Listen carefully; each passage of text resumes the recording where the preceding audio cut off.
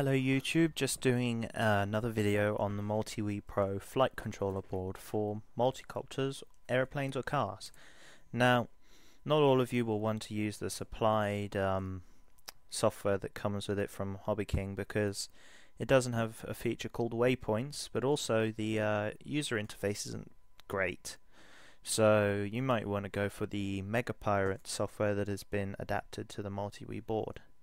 Now, I've gone ahead and set up everything for you except I believe um, mine is set for uh, X configuration whereas you will need to change yours. I think in MegaPirate software that's actually not too big of a deal because you can go into configuration and then you go into flight modes. No, uh, which one is it? That one, yep.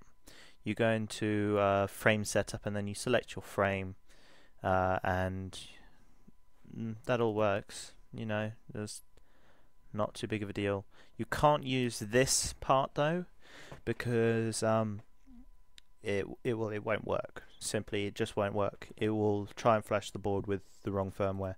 But you can go into configuration and change between plus and minus, uh, uh plus and X, I believe. Uh, at the moment, the software is calibrated for X, so when you download it, you'll have to have an Xcopter uh, or quadcopter in X configuration. So in the description below are three links.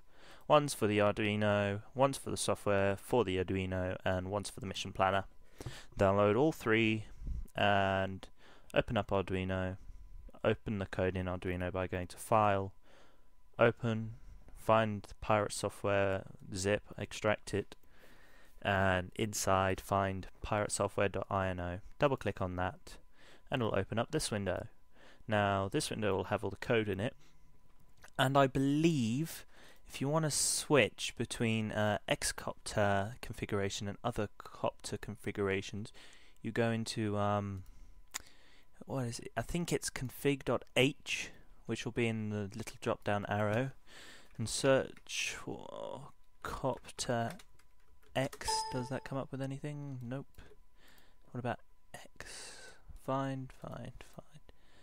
Yeah, somewhere in here will give you the options for switching between uh, copter and other types of copters. Uh, when you find that, simply comment out that it's an X-copter by putting two forward slashes in front of uh, hash define and removing the two forward slashes from the one that's appropriate to your copter. Um, I actually put a fourth link below with the instructions on how to modify the code if you wish to change to um, uh, anything other than X configuration quadcopter. So yeah, that'll be on there. Simply click upload, it'll upload to your board, and you're done. Just plug the board in, run Mission Planner, and it will give you your GPS fix and all the information you need.